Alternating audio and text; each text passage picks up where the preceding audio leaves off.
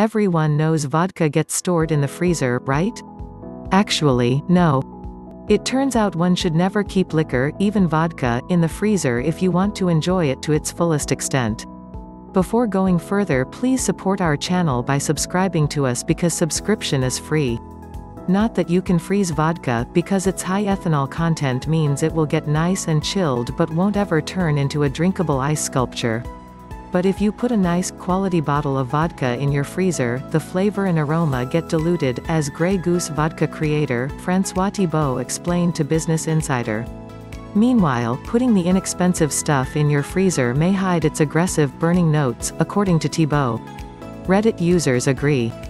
A discussion about where to store vodka included this comment from one redditor, my rule of thumb is this, the cheaper the vodka, the colder it has to be in order to be drinkable.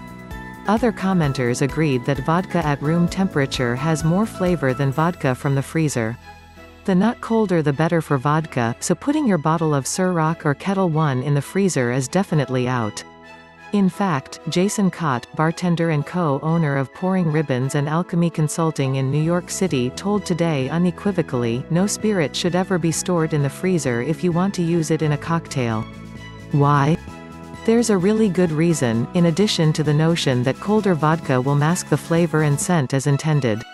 Cott explained, a frozen vodka will not interact with the ice appropriately and will not create the correct water dilution to temper the proof of the alcohol and create the most balanced and delicious cocktail.